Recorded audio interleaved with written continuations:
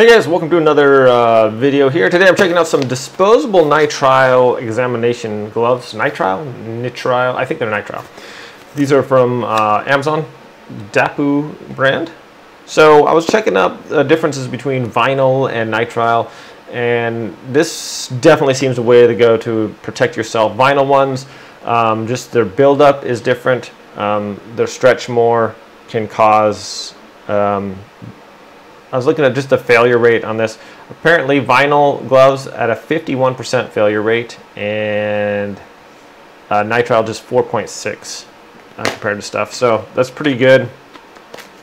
These apparently offer a lot better protection than your normal vinyl gloves. So if you're just cleaning around the house and things like that, um, even washing dishes, um, you just want to protect your hands. If you're using chemicals on like a toilet or something, um, these nitrile gloves are going to offer a lot better protection than you would see at like um, just regular vinyl gloves according to the study I was reading. So that's kind of cool. These are supposed to have a lot higher um, failure, uh, a lower failure rate than other gloves.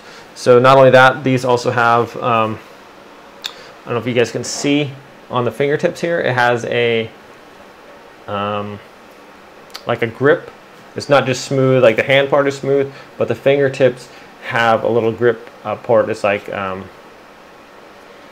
it's like a little pattern on there almost allows you to grip better. So that's kind of neat and uh, fit the hand nicely. Um, as far as being like stronger, these ones are supposed to have more resistance also than vinyl gloves to like tearing and stuff like that. So that is uh, Wow. I was thinking a uh, piece is going to tear off there.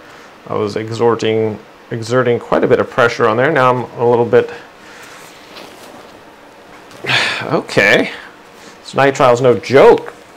All right, so impressively strong there.